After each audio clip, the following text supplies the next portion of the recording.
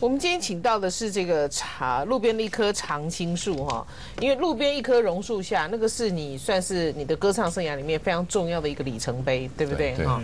那跟你同时出道的那些歌星，有谁现在还在歌坛的？同时，你早期回都是四十年前出道的时候，那样。呃刘福那时候呃有谢雷嘛，嗯，呃青山也有看也嗯。偶尔还出偶来。偶尔哦还有，呃留不住，嗯，也也也是啊，哦，陈伯贵耶，陈伯贵，那我记得于大哥刚出来的时候是没有胡子的，为什么现在又留这么多年的胡子？那个胡子是从呃二十九岁的时候开始，因为那时候就喜欢开车啊，开车车祸，你知道吗？那手也撞断了，嗯。那那时候正好撞到这个整个 整个裂开来，嗯嗯嗯。然后缝好了就有一点疤，很大的疤，就是从那时候就开始留胡子，把这个疤烫起来。哎，遮起来。哎。啊，就是其实我看于天的像是很棒的像，哎，他就是胡子好。胡子好，啊，阴错阳差，不是阴错阳差的啊。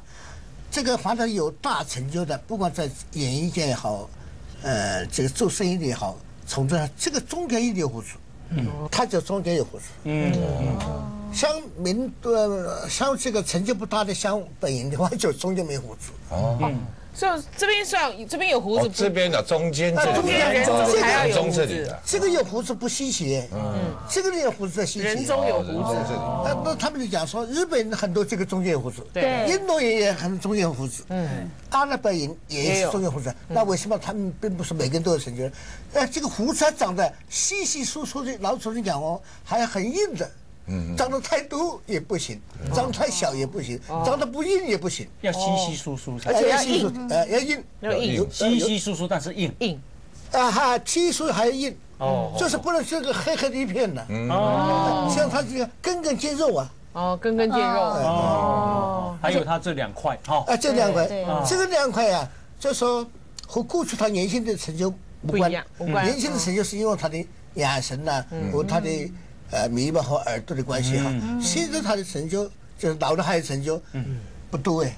嗯，他不但是故意生化，还对呀，那呃那个五十几岁了，快六十岁才去选立委，让他选对上，对对，所以他哈嗯和这个胡子有关。哎。哎，所以哈，潇湘居士，如果对自己长相很不满意啊，遇到你啊，答案都是千万别做，毁了太可惜了哈。对他去拉这个这样子哈。对我想去看我啦，我想去把它打瘦一点那，不行不行，这样影响你的命运，真的影响哦，不会假的哦。影响命运哦啊影。响命运 OK，哎好那我这边想去那个把眉毛挑挑上来一点那更不行。哦。你这个现在哈，你这个真是哈，呃，有个形容词的哈，嗯，呃，就是恰得其分，恰恰好。如其分。这么胖的脸，你知道我多痛苦性人呢？，我多痛苦性人呢？嗯，嗯你你想这个这位先生啊，他就不能太胖，哦。他带筋可以胖一点点，他的水尤其要胖啊。哦，所以我水星人我就是要胖才对。对。对对，我要再胖一点哦，啊，可以再胖一点，嗯嗯哦，为什么？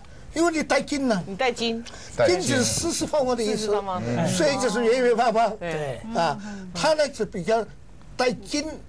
偏但是木啊，木啊。哎，木重筋小，所以你就不肥胖了，不可以胖哦。不肥胖了，也说不肥胖了。对啊，哦。我想去把下巴这边看能不能切掉。哦，那那一大块。不要不要不要，不要 吗？啊不要。嗯，我我是我是强调这个色香美哈，没香里美重要，哦香里美才重要。意思是你没有像李美，你只我没有像里面，我承认。你看那个镜头，你你有我们两像里面个，我们两个脸一样大，在 镜头前面哎，那那正好，我以为你这个正好。正好哈。OK，所以每次要去整容之前，大概你可以先找一下潇湘居士，对你就会发现真的真的你很多省下一钱笔钱啊很多钱都不用花。跟亚萍姐讲，那两块不可以不可以拿掉。嗯，亚萍说：“哎，你怎怎么会掉下来？就干脆把它去去去去拉一下千万不要。那个名字叫地如意，这个地如意现在地如意意，嗯，地就是地方的地了啊，知道了。如就是那个对，如意的如地就是那个资本啊。哦，啊地如意，嗯。所以千万不能动，对不对？动不哎，其实很多人老了也未必会有这两坨肉，哎，啊，对不对？是不是这样讲？不一定有啊。哦，这于大哥的特色。是啊，于大哥。哎，那这样子林松义应该会红啊。你知道有个叫林松义的啊，猴子歌王啊。哎哦，那个是。瘦皮猴啊。哎和他同同届代的哈。对对，可是他叫人家去打那个小珍美容，后来也是两块肉在这里哎。那可是他这这不是不是不准不准不准。你自己讲，为了赚七诶七百块中介费，没有，那时候因为是我去当我在服兵役的时候嘛，啊服兵役那正好那时候流行那种小小真真美，美容。嗯那老师就找到我，你知道吗？他说：“哎，你啊，你很多这个演艺圈的朋友嘛，那你可以找他来，那我给你抽成。”嗯，我那时候一个月在立声唱也不过才八千块啊。他说：“哎，你来的话，我给你抽成，好，大概你可以赚到几千块钱。”我说：“当兵服兵也没钱啊。”我就找林正伟说：“哎。”小真美容去把它弄一下，你这里对不对？因为林松义这边是整个对啊，他我把它弄太起来，哎瘦了，，把它哎哦，他就去弄，哎，我还真的抽抽成抽到七千块他，先弄了没有？最后弄了弄了弄先弄了没有弄啊？弄了没用啊，没有后天的不行，要先天的，要自然啊，后来嘞，啊，后来他又花钱去把它给拿掉，因为他你信不是。因为因为那个小真美容会掉下来，垮垮下来，就就两坨肉掉在这里，是我害他的然后又来找他这样子。你有没有退人家七千？对啊，没有啊，那个医生你不晓得跑哪里去了，对啊，于于大哥的门面其实大部分亚萍姐在帮于大哥弄，因为我记得那时候他还没有选立委前，就有一次于大哥就跟我讲说，他说亚萍姐说她的皱纹了，那时候他说皱纹太多了。然后要就是因为他们都会认识一些整形医师嘛，那那时候好像有去打肉毒杆菌还是什么？有啊，他这里叫打一点，打一个肉毒杆菌把它弄上去，对，因为他他一开始没有经验，他都有听到人家在讲嘛，因为那时候瓜哥也去打嘛，对啊对啊。所以于天于大哥就说，那我也来赶一下流行哦。他打完之后，因为笑起来，因为这边会背背，你知道吗？对，那他他因为我们访问他回去自己看新闻，他说哦，那个脸看起来很像是假的脸，因为对，真的，因为都不会动这样。嗯。可是问题是就是。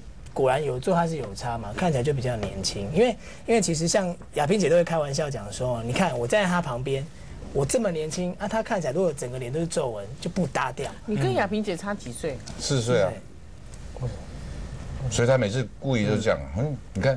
我跟你出去啊，你好像带女儿一样，尤其跟对啊对啊。两个女儿出去，对呀哎，于大哥，嗯，哎，立陶宛公这是要好囡啊嘛，嗯，没有什么财产可以留给他嘛，嗯，好，当然这也是很很棒的资产呐。对，基基本鬼是讲，如如果我的印象是你你是歌王，照理说可以赚很多钱，对不对？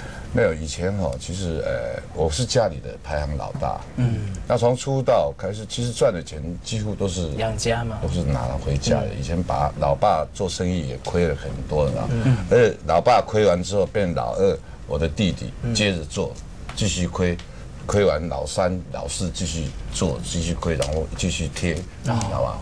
那我是老大，其实从出道的时候就开始，也出来养家，所以一地最没受到苦，没吃到苦，你知道吧？他没有没有分担，他没有分担，没有分担因为他那时候我出道的时候，他也不过我十七岁，他也不过才，呃，他差我十二岁，哦，就可以你就可以误会误会对啊，你叫狗会，他完全不知道，嗯嗯嗯，没有吃到苦。而我出来的时候，已经多赚的钱都回去。你也卖讲安尼贴厝的兄弟啊，安尼做生意料的吼，你这样可以存多少钱？有没有算过？我其实也没有好好去算过，因为我这个人其实也对金钱不会很计较。嗯，像我跟亚萍结婚的时候，然后我妈把我的存折交给亚萍，里头存款七千块，有 这七千块。安尼啊，你准已经就按啊呢啊，。对啊，对啊。因为他都拿回家啊。于哥是很有名的孝子，嗯，啊啊啊！那后来也是财务也通通是交给亚萍，嗯，然后我也不晓得，我也不去过不